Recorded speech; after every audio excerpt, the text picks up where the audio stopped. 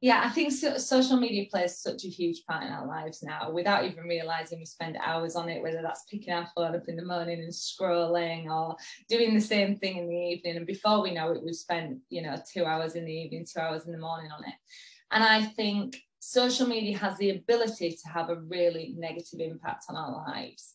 Um, but it also has the ability to have a massively positive impact on our lives. You know, I know because I've been through that experience of using it for the ways that aren't aren't good, aren't, aren't going to make me feel good about myself.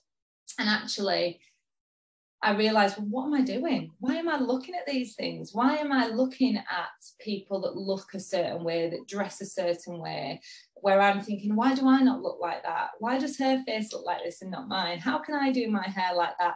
And actually, what, what am I doing that for? I'm only doing that to make myself feel bad. Um, so it was a case of right, remove those accounts, remove, remove, remove, you know, follow the people that I love follow the people that make me feel happy, make me feel good about myself, and um, inspire me, make me want to do better, be better. Um, and that made such a massive difference in my life because actually then I was never getting that negativity. And, and now I see social media as such a positive thing. I know there's things out there that, you know, aren't good, but it's how you use it.